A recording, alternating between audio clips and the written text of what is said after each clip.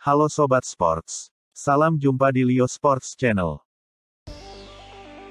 Hasil pertandingan pekan ke-13 BRI Liga 1 Indonesia, Kamis tanggal 8 Desember 2022. Serta daftar klasemen, top skor, top assist, dan jadwal.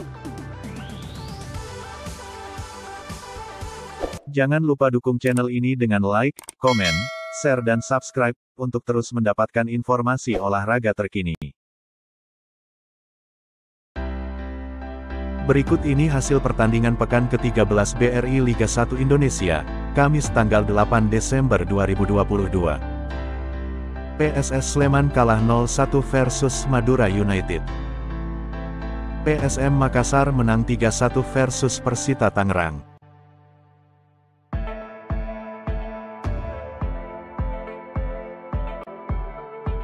Berikut ini daftar klasemen sementara BRI Liga 1 Indonesia.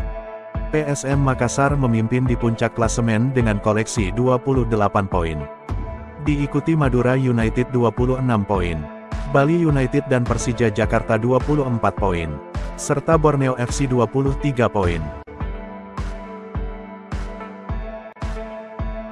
Sedangkan di zona degradasi ditempati oleh Rans Nusantara, Barito Putra, dan Persik Kediri.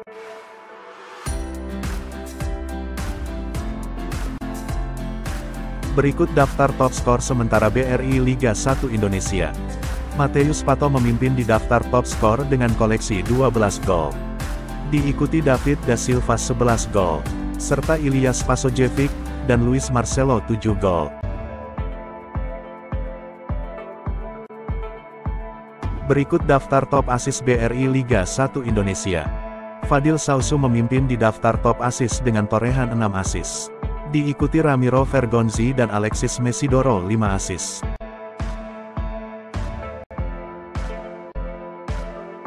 Berikut daftar clean sheet BRI Liga 1 Indonesia. Andritani memimpin di daftar clean sheet dengan 6 clean sheet. Diikuti Reza Arya Pratama 5 clean sheet. Nadeo Argawinata, Muhammad Riyandi, serta Miswar Saputra dengan 4 clean sheet.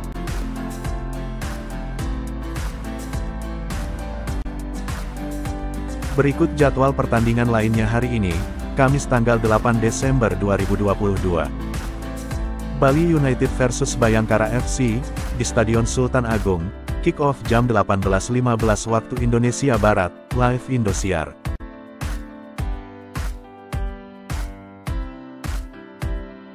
Berikut jadwal pertandingan selanjutnya, Jumat tanggal 9 Desember 2022.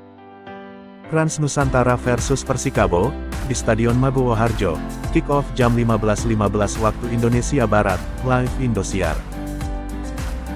PSIS Semarang versus Borneo FC, di Stadion Maguwo Harjo, kick-off jam 18.15 .15 waktu Indonesia Barat, live Indosiar.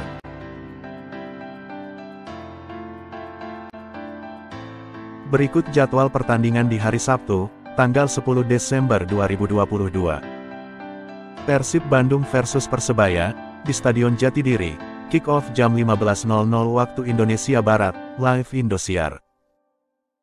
Persija Jakarta versus Persik Kediri, di Stadion Jatidiri, kick-off jam 18.00 waktu Indonesia Barat, live Indosiar.